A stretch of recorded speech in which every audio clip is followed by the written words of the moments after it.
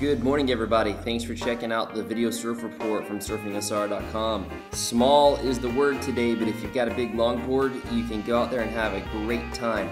High tide 7:15 this morning, so that's right at report time. Some of us are going to let the tide drop out a little bit and go out there for a great nose riding and log session. Uh, hopefully we'll see you out there. If not, enjoy the video. Uh, small run of surfing Nosara, not used to that, but that's okay if you have the right equipment.